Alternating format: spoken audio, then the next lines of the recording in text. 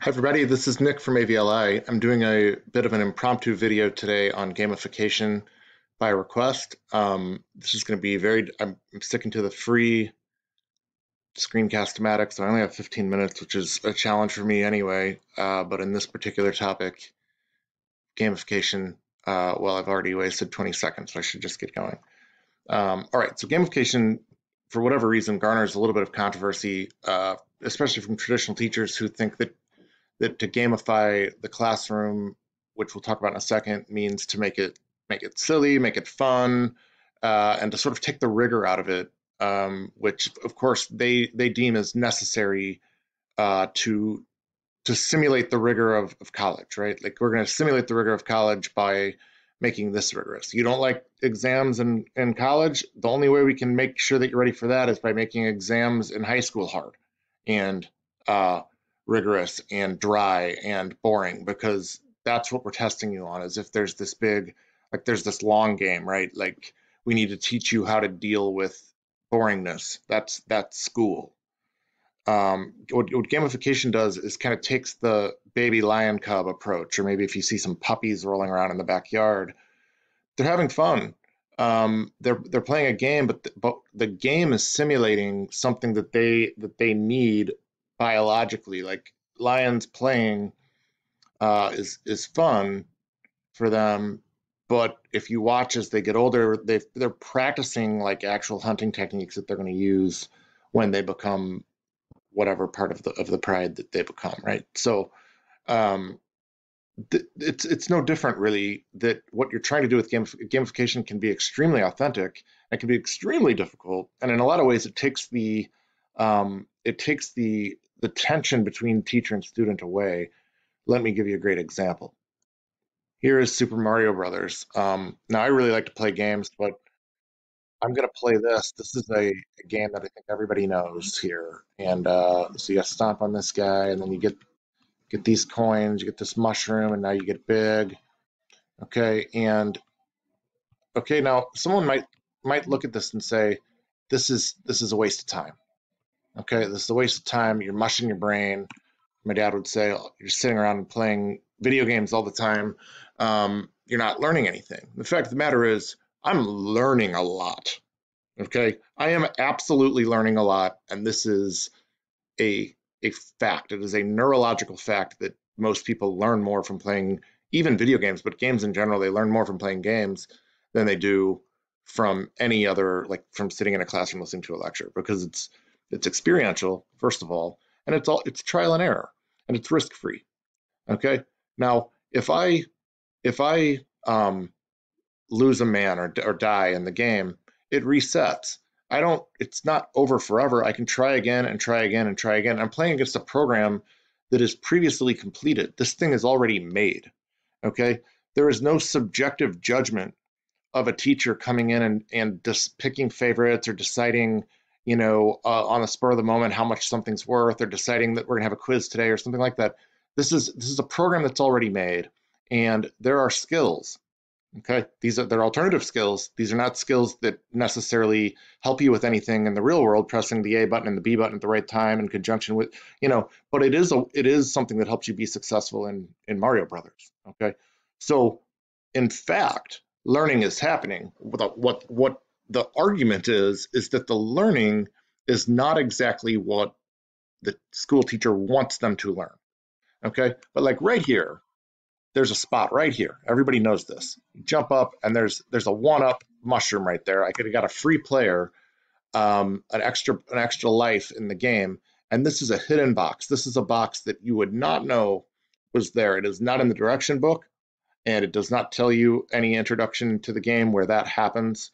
Um, you learn this through collaboration. You learn it through trial and error. You learn it from other people playing uh, and going over to their house and everybody sort of playing Mario Brothers together. And eventually it becomes sort of common knowledge based on not a Wikipedia page or a textbook, but just by like different people collaborating and experiencing together. And now sort of everybody in the video game world knows that there's a, a box right here that's hidden. Okay, it is just like a really common thing. Um, and when you when you look at games, games do everything, and I'm not just talking about video games, I'm talking about any game. Games do everything that we want in terms of soft skills in the classroom. Okay, the, a game requires that the player um, keep trying when they when they lose in order to win. You can't just stop. Um, a game requires more and more today collaboration, both board games and uh, video games. Uh, a game um, a game requires uh, tenacity. A game requires that people are going to put in long hours, right? And these are things that we we sort of think, oh well, the the the, the student these days just doesn't do that. And the truth is, the student does do that. The student do, doesn't do that in our class. The student does that with with video games, and they do it with um, they do it with sports, and they do it with uh, board games. Like what if there's a sim, some sort of simulation that get they get interested in, they will absolutely display every last characteristic that we want them to display in the classroom to be successful students. They're just learning. We don't have control of what they're learning. Okay. Um, so if you want a little, if you want to add a little vigor to your classroom and you want to see, you want to see students actually enjoy learning and learn, because enjoying learning, liking you, the teacher, uh, those things help learning. Those don't go against learning, and there is no reason for someone to hate learning while they're learning it. There is not, there is not a reason that someone needs to hate it in order to eventually do well in college. In fact, you could argue, like my, my I, I know someone well who did quite well in grade school and high school and got burned out. They, this person got burned out because of how how quote unquote rigorous it was. This is a college preparatory academy. Okay, this person goes to college and is pulling C's and D's, makes it through. Everything's fine. I'm not. It's not a bad. Not a bad person. It's just that this person got burned out in, in high school. And if it were treated differently, it might have had more energy when when it came around to college, even if college did not follow the same the same prototype. Okay, so um, the the other aspect of gamification is that you I've talked about this in another video. You create this idea of teacher and student versus the game, as opposed to student versus teacher and whatever teacher precipitously decides today. You know, like I decide as teacher whimsically that I would like to have a quiz today because you guys didn't read or something like that. Like I'm feeling vindictive or you know what? It's Christmas, uh, um, day before Christmas break. I know you guys didn't read, but no quiz. And everybody's like, yeah, this guy's awesome. Right. Like that's all just, that's like the decision of a king deciding to kill this Joker and keep this Joker around. It's just completely, completely up in the air. It is, it is based on, on whimsy. It is not based at all on, on objectivity, uh, and in fact, it, it, creates implicit biases in the classroom and uh, who was here when this happened versus, you know, who was having a good day this day. If you create the if you create a game um, in the class, and these can take a lot of a lot of formats, right? Like what you're doing is creating a system, and you, and as long as it's well planned, uh, the teacher becomes kind of like the guide through that game. Uh, someone that can help through the game, but it's not someone who is making up the game as they go along. Okay, so really, game good game design is really just good, good uh, curriculum design. It's good sequencing. Uh, it's good scaffolding, et cetera, et cetera.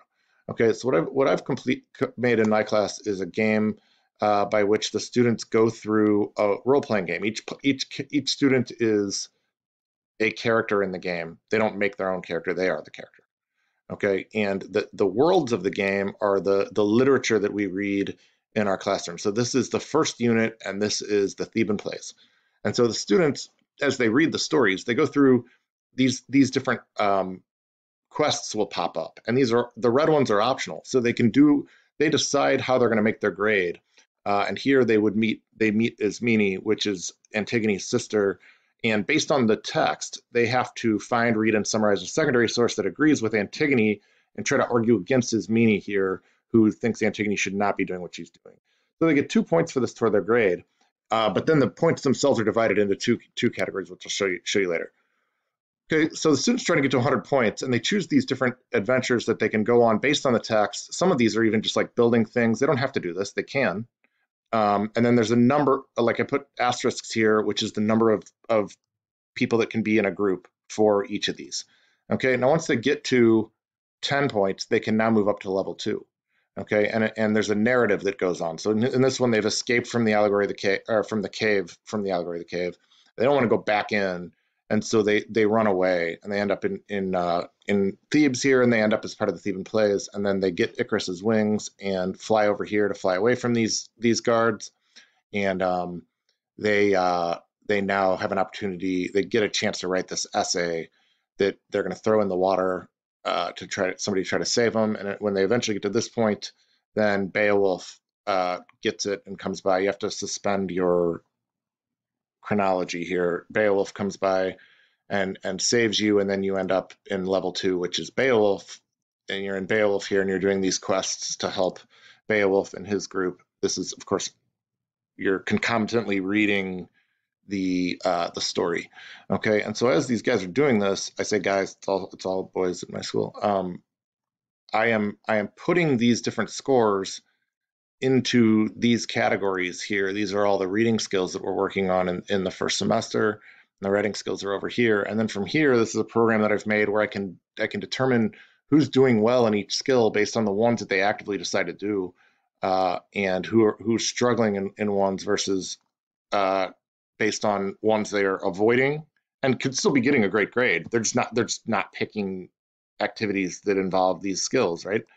Um, and I can I can then remediate where necessary, or I can decide. I put like an average thing at the bottom, so I know which one, uh, which ones of these different students are gravitating toward, and from then from there I can kind of say like, okay, right here, 0.64, go back up. That's inference. Uh, we need to do some activities in class involving inference because people are just skipping inference uh, and are getting a good grade anyway, but that, that's what they need to be taught. And I can tell based just on formatively assessing activities that they do decide to complete. And then this information I can use for all sorts of stuff. I use it. I can use this to make, um, you know, a different test for every student when we get to the exam. Um, I can use this for for groups. I can determine which group people are in. Maybe I want it so that uh, we have groups where there's an expert on each skill in each group, or maybe I want it so that all of the people that struggle in one skill are all in the same group. And this is where your your sort of teaching and and uh, classroom management and stuff comes in. Um, but uh, the students are building their grade based on going through based on going through this game here, and I and then I'm using that for uh, for teacherly purposes. But again, these things that they're completing, and, and I and I grade them anonymously, right? So they they get a ticket like a um, like a raffle, and that's their number. They put that number at the top of everything, and then I grade it, and then I just say when I'm passing it back, like who was number 06754, and it's almost like you won the um the door prize at a trivia night or something. Some kid, oh, that's me, that's me. And he stands up and he goes to pass the thing back. I don't even know whose it was. And they're allowed to redo anything. They can redo anything they want uh, because the feedback is is authentic and it's based on on the work. And if they want to redo it, they can redo it. it. Just like just like Mario Brothers, right? If I go here and I run off the side, okay, that means that my that life is over. Look at this. Get to go again okay? And where I messed up, I can actually try to make it past that this time, okay? And if I make it past that, I've created a sort of best, personal best for myself. Oh, right there, okay? I did it. Not hard. I'm not saying that was that was difficult, but I am saying that I learned based on failing, okay? And so something like this allows for the student to fail um, and uh, and then learn learn from that the way that games do. Okay, now this is just, this is a very extreme example of gamification. Gamification can take can take the form of including game design elements in your grading system, like not keeping this keeping the classroom the same. You don't change anything. You just change the way you grade to make it fit more of a of a point total, like you're totaling up points. Or it can take take like even something like Jeopardy, which I know everyone does. Jeopardy in the classroom would be a form of gamification. You're complete you're introducing competitive elements.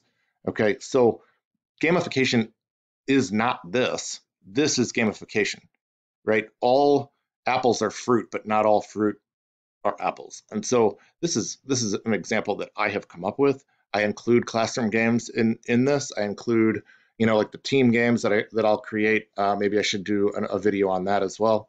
Um, but all I mean, it's really a choose your own adventure and take as much as you're as you're interested in. I've encouraged a lot of teachers at my brick and mortar school to just kind of like hey, just do one lesson of that's gamified, see how that works, and maybe build up, see if you like it. And there have been two or three teachers that have really taken off and, and done that. Um, but anyway, please contact me if you have any more Uh, questions about this? I'd love to talk about it more, but I have two seconds left. Thank you.